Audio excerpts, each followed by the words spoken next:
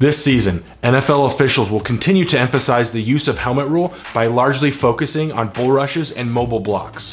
Player safety has become a top priority across all levels of football, and many of these rules that are designed to reduce helmet contact eventually trickle down to the lower levels of the game.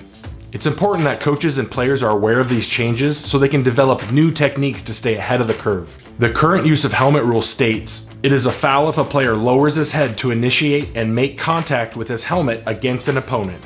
When we watch game film of these players initiating a bull rush or a mobile block with their helmet, it's easy to see the concerns regarding player safety as these players are delivering and absorbing forceful impact with their helmet. This bull rush method not only puts the player at a higher risk for injury, but it's extremely inefficient from a performance standpoint. Attacking your opponent on a horizontal plane wastes tremendous amounts of energy and is why coaches at the highest levels of the game have implemented force deflection strategies from tip of the spear. Instead of running full speed directly at your opponent, we teach players to harness hip-driven power to create a more effective and efficient bull rush.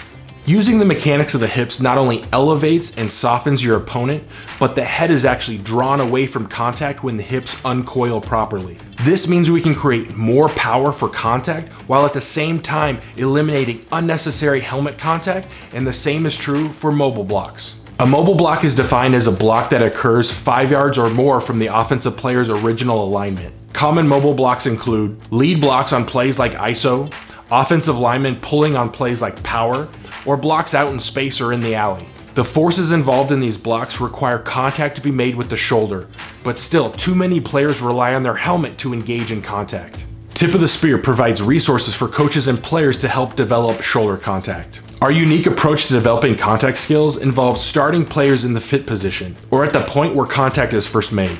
Developing the mechanics of hip-driven power from this fit position has proven to expedite skill development at all levels of the game.